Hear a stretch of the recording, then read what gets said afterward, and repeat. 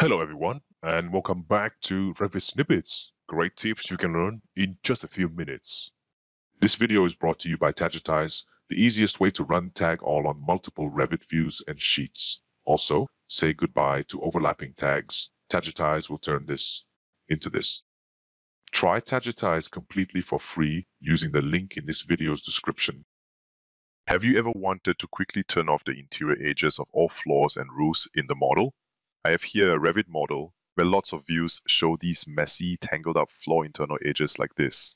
Here's another view, and here's another one. These edges are useful when you want to see the actual 3 shape of the floor. However, sometimes we just want the floor to show up as a background for other more important elements.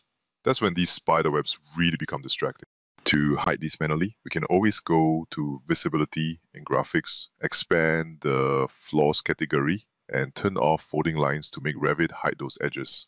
However, it will take ages to do this for many views. Of course, we can use a view template to speed up this task. But what if not all the views we need to change are using the same view template? To me, the best solution here is to use Dynamo. I'll show you today how to create this little Dynamo script to turn off the interior edges of all floors and roofs in the model in one single click. To prove that it works, I'll run it now. There we go. All these messy floor folding lines are now hidden in all views. How sweet is that? If you don't have much time and just want to run this script right away, simply find in the video's description a link to download this script directly. If you, however, want to learn to code this yourself, let me show you how right now, step by step. By the way, if you are new to this channel, make sure to subscribe now because we do tutorials like this every single week. Okay, let's begin. To start, let's create a new script in Dynamo. I will now add a Python node to the graph and open it for editing. However, this is not a good script editor, so I'll type the code out in Visual Studio Code instead and copy it back into Dynamo at the end. If you're new to this workflow, don't worry. Just find in the video's description below a link to my other tutorial on how to set up this coding environment. It will also provide you with this Python template for Dynamo. That will give you all the necessary information to then return to this video and start scripting with me. First things first, we need to tell Dynamo which element categories to turn off. There are two of those. One is the interior floor edges, and the other is the interior roof edges. Go ahead and get the ID of the interior floor edges category like this. Then we do the same again, but this time using a different built-in category value to get interior roof edges. Very nice. We can now put both two category ID values in a new list. This will allow looping through these ID values later in a convenient way. Next, I can create two lists to report the result of running this script. Let's call these done and failed. We'll add views to these lists soon, depending on whether the views have been modified successfully or not. Now, it's time to actually modify the model, so let's open a new transaction for that. Like this. Inside the transaction, I'll collect and iterate over all views in the model like this. For each view, we'll check if it's a view template. If yes, we can simply skip it as we're not interested in changing it anyway.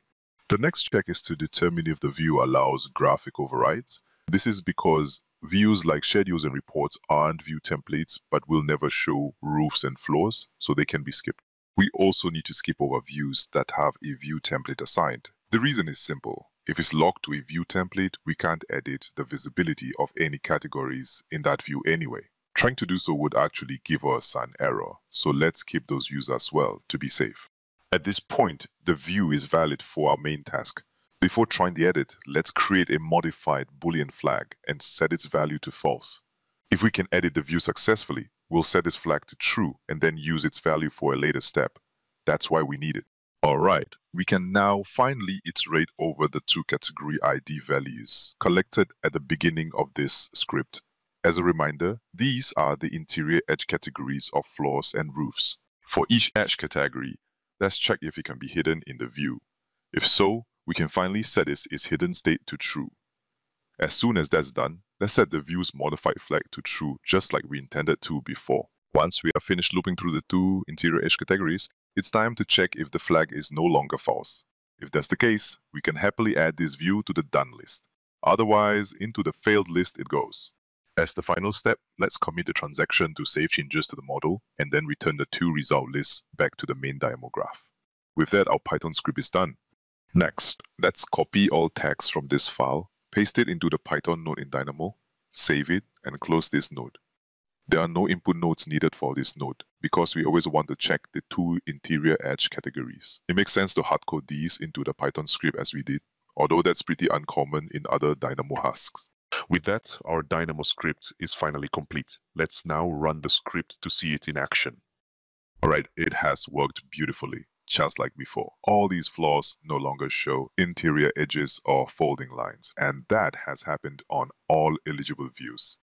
If you want to check if the script failed to modify any view, just expand its output and investigate the second list here. Obviously, it failed to hide the two interior edge categories in some drafting views, but that's kind of expected. Drafting views don't show actually floors and roofs anyway, so there's no point trying to hide their folding lines. So there you have it. If you just want to run this script, there's a link in the video's description to download it. If you, however, want to master Python scripting in Dynamo to create this kind of script yourself, check out my full online Python for Dynamo course, also linked to in the video description. If you like this lesson and want more like this every single week, make sure to subscribe to this channel now. For now, have a good day and I'll see you in the next tutorial.